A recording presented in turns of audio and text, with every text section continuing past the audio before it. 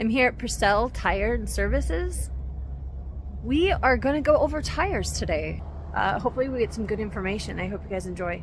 So, I'm here at Purcell Tire. This is Richard, How you doing? the tire man. He's going to talk to us today about the different types of tires and what we do up here in Alaska versus other areas. There's different types of tires. There is. There's different types of rubber. Different types of compounds, different types of tread designs. Uh, you know, there's, stuff built you know, for highway for highway mileage, you know, long long mileage, or off road mixed service for rock and, and, and gravel and hard debris and you know more aggressive tread patterns for anyone to extreme traction and severe off road stuff. So up here we kind of go through more of the extreme off road mixed service stuff more than we do the highway stuff. Mm-hmm. You know, lower 48 guys run up and down the freeway and stuff. Those guys want some tires that are some mileage. Up here, they want mileage, but they also want traction, and you got to give up one to gain the other. You you can't get a mileage tire Right. and a traction tire for the most part. You know, in, in our conditions. Okay. You know, in the ice and snow, you want a tire that's going to flex. You know, we, we do a whole lot of siping. You know, most any trucker that's running the haul road right now pretty much is running a sipe drive tire. Now, can you explain to the viewers like what siping is exactly? Siping is you take the tread pattern of a tire, you have a complete tire, and it's got its own tread design. And what we do is we have a machine that cuts, uh, it's just a circulating blade that pulls the tire around it and, and, and, and cuts it. And it cuts extra uh, uh, biting edges to the tire. As an example, like a Blizzak tire. Most people like Blizzak tires because they have so much soft rubber and biting edges, so many more sipes, and, and that's kind of the key. We're trying to do the same thing with a truck tire. Right. We're turning into a blizzard or a winter tire. Okay. And most cases, most manufacturers don't recommend it. They don't want you to do it because they won't warranty you Right. once they're siped. Okay. But in Alaska, you know, So what does that do it. siping do? Does it create like a suction on the on the ice? no, it, it just opens the lug. So you get a lug that's this is big. You know, two inch lug. Now you take and cut it. Now you made that. You've made four different slices of that. So now you've got a you know quarter inch lugs, or at least flexibility of the tire to to, to flex and bite. You know, it just it grips into the ice and stuff better. Not notice too much of the snow. You know, the tread pattern will do with the snow, but the siping is for the ice. You know, it gives the ah. tire, it takes a hard subs, a hard surface and makes it softer, gives it more flex and more more more grip, basically. Okay. So what is the difference between the rubbers? So you said harder rubber in the summer. Well, they have what they call chip chunk compounds, mixed services, know, the chip chunk compound, chip chunk resistant. And with that means that you take a, a highway tire and run it over a rock and you'll tear the tread. You'll actually chunk it out and tear it. Whereas a mixed tire, mixed service tire is designed to not chip and know, chip out and chunk. So they're, they're more flexible. They actually have a little give to them. And so they'll fold over the rocks instead of ripping. You know, Gotcha. like a, tires that are designed not for rocks, chunk out and tear up. And it, it, you can look at different tires, you know, chains do the same thing. When, guys run the chains on their tires, uh, a soft tire can actually get chunked out because of the chains. You know, but I've seen the experience what I've seen so far. We've done the, you know, the highway compounds with the mixed service compounds, and the chains actually held up. Didn't, the tires held up better with the mixed service because the chains could still flex on the tire and not just chunk out the tire. You know, basically because the, the harder tire just tears instead of flexes. Oh, interesting. Interesting. So for those who don't know, the Dalton Highway specifically is about 90, 85 to 90% all rock. And when we have ice here, even on our pavement, they throw rock down. so we constantly have rock on our roads here. Um, Year round. Yeah, year round. You can't keep a windshield. no. Um, you know, one of the things that I noticed too in, in some of the, the studies that I've done between trucks down there and trucks up here, Right? super singles. Yep. All the trucks that I've seen running the haul road, they have the duals on the back. Those. So why is it, what's the difference between a super single for our viewers and Well, the big super singles have more contact area on the ground. They're actually better for carrying heavier weights and, you know, especially on the, on for, for low weight areas, roads and stuff, you know. So the bigger foot compact, uh, bigger foot imprint on the pavement, you know, allows them to have a little more weight capacity and, and carry. Plus the traction, the bite and everything is, is good because you've got more um, pounds per square inch on one, one big area instead of two smaller areas. So you've got a little more grip. Last one doesn't quite work the same. I mean, I, I see guys that run the super singles. There are a couple guys that do just fine with them and make a few tires that are good for them and siped up, of course. And uh, but the trick with those is you don't have any backup. So you have four tires for your drive tires, and when one of them goes flat, you're parked. Whereas you got a set of eight back there, dualed out, you have a flat on one of them, you can still move and, Yeah. and drive. You, you get away. I mean, so you don't see them running north. I mean, we did for a little while. If You guys tried it, and s- but a lot of guys end up carrying a spare tire. with them. So now they're carrying extra weight with them. So that's less product or less load they can carry. So up here, the super seamless the Daltons, not really advised or, you know, those guys, they, they don't do it. I mean, like I said, if you guys did, but I don't really know why they got it. They never really explained why they didn't do it, but, you know, because you can buy cheese with a super seamless too. I just think that the, the fact that you kill a tire, like you go up to Dalton Highway right now, there's several places where you can actually get a tire for your truck if you blew one and killed one. You know, Coldfoot, you know, you Prudhoe Bay. But I don't think anybody has a super single No. sitting around. So it'd be hard to find a tire. You know, I mean, in the theory of here, I mean, like I said, lower 48 stuff, I do, but you know, even most of the trucks I've seen coming from the lower 48 aren't running those either. So there's a, there's a place for those, but I don't think it's here. You know, personally, but Yeah, well, I, somebody could argue with it. But I had um, an opportunity to drive when I worked at the company before. right, I drove a super single only in town. right. And so that was one of the things that I, I first a set of chains on a super single. Uh-huh. Um, but yeah, I, I've not seen one single super single truck on my Dalton. No, on the Dalton. Yeah. No, they got a bunch of them in town here. Know, a few companies have them, you know, delivery trucks and local town trucks, but none of the haul road trucks. And so there used to be a few, but they're, not there anymore. They filtered out. Oh, yeah, they kind of, it seems like you don't, you know, it's, not a thing anymore. They said, I think they tried it, it worked, but it didn't work as good. Right. You know, even traction wise and stuff, because you know, sometimes when the Dalton gets muddy in the summer, in the springtime, in the fall, you know, I mean, they've had devastating, brand new, huge, deep lug tires still have trouble climbing some of the hills with the mud. I mean, the road conditions were horrible this year. Yes. It killed tires. I mean, it was a bad year for all the truck drivers, I think, this year for tire wear and stuff. I mean, it was, didn't matter what kind of tire you had, they were, they were eating them up. Yeah. Yeah. Um, is there anything you want to say about the tread and the different types of treads that are? Well, I can show you a couple examples of, of what we you know what we have that we is more popular for the you know for wintertime running versus summertime running. Okay. Maybe if you don't want to see a couple of those. Sure. Yeah. Um, before we move from this Yep. spot, is there anything else that you want to go over? No, I think I just think that most of the truck drivers, if, you, if you're up here, I mean, you've got uh, you know if you're coming up from the states, a lot of the drivers you see down there have a closed shoulder drive tire. What is a closed shoulder? Closed shoulder means that uh, if you take a tire, the edge has a solid lug all the way around the whole side. It's a, it's a ridge almost. The, the traction lug's on the inside, in the center of the tire. And I'll show you. I'll show you. Show you a couple of tires there. You know, an open shoulder tire has brakes in the tread design on the outside edge, so it has places mud, water, and everything, snow to dissipate out the fat. It gives more bitingness.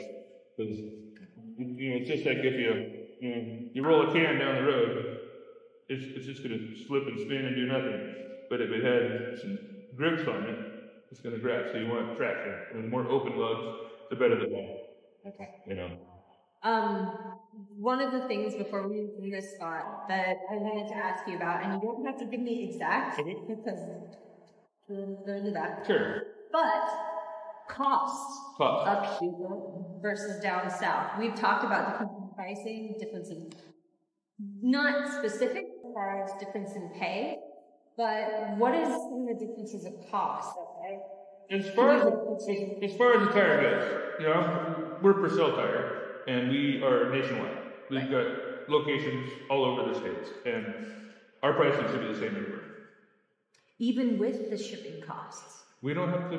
Most of our most of our manufacturers' products, you know, do gift them or get you can ship it for you know freight paid for the most part. Oh, interesting. Yeah. We we're big enough company we work to work. We actually have a truck coming up in the back and forth in the states now, our own truck hauling our own loads now. So it's alleviated a little bit of strain for you know for the vendors and for some of the stuff to to help us to you know get the products that we need in a timely fashion and in an affordable rate. So certain products, if it's something that's not one of my main manufacturers, we may have to pay the freight monthly. But most of our stuff, you can pretty much go to any Purcell tire, and the prices should be generally the same. We're all independent of each other, but Interesting. I prices should be the same, I wasn't expecting that. yeah. Okay. Uh, is there anything else you wanted to go over? No, I think that should be good. I mean, I just recommend it. Anybody that comes up with some, you know, from the States or from anywhere and you're concerned about your tires, you can come by and ask us, and we're more than happy to, you know, point in the right direction. Awesome. This is probably one of the more popular tires that we have for the wintertime and for, you know, sometimes in the summertime too for, for extreme traction. This is called our G741. This is a recap. Uh, it also comes in a brand new virgin style, you know, Goodyear makes them. And uh, as you notice, it's, it's just deep. It's 32, 30 seconds to tread when they're new. It's got lots of deep tread, big lugs, open shoulder. And we'll take this tire and sipe it. And I'll show you the sipe machine too, so you guys can kind of get a grip of what that is. But what we do is it sipes it puts, you know, cuts in the tread like here. So you're taking that one big lug and you've made multiple biting edges out of that. So instead of just this one edge, you've got multiple that's gonna, as they flex, they grab the ice. And with the clean out stuff, they give you traction. You can actually go someplace. When it's extreme, you still gotta throw your chains on, but, but um, most cases, uh, you get the feel for your tires. And then uh, I'll show you one that's you, you wouldn't want to run up here probably. I don't have any new ones, but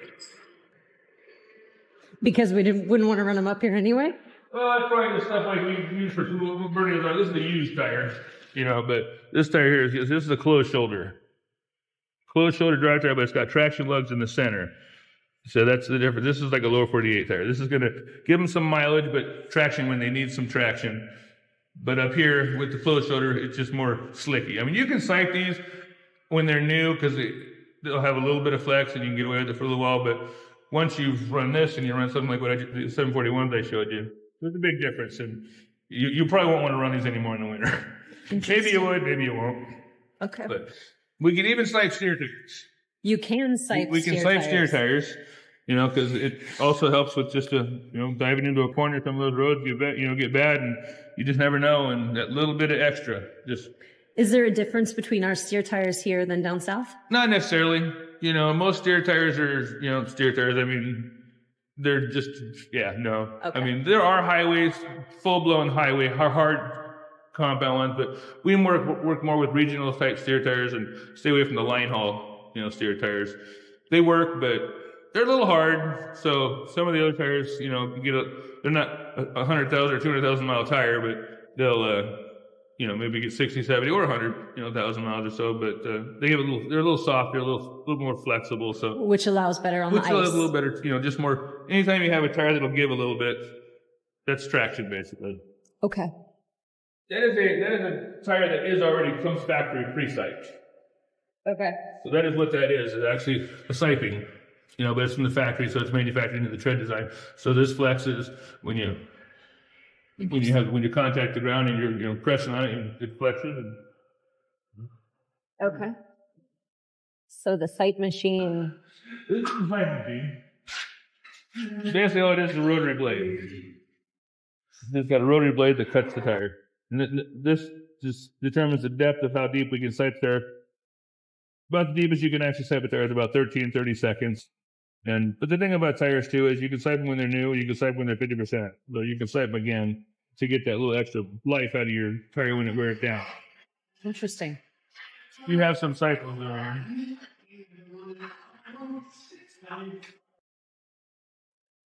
This is another, this is one that has been siped. We cut this tire. Normally it's just that big lug. Now it's got all these multiple lugs that for bit- biting traction. This is another popular tread design that we have up here. They're like guys they don't want the big gnarly, the big the big lugs throw rocks and they can be a little more aggressive and loud and obnoxious. But you get a tire that's a still an open lug, open shoulder tire. It's siped up. It's a, it's a mixed service tread design, so it has the flex and ability. A lot of guys like these on the ice because it's got a little more surface contact with more- rubber contact in the ground other than the big lug. But it's all happy, you know, happy to here, happy to there. Guys like what they like you know, and stuff. The, the difference is soft compounds is is what you want Okay. for the winter. Did you want to show us this real quick? I can. See, Even even even in Alaska, we do winter tires on everything. We've got we've got winter tires for a loader. We're, we're, installing today. As you can see, they're siped.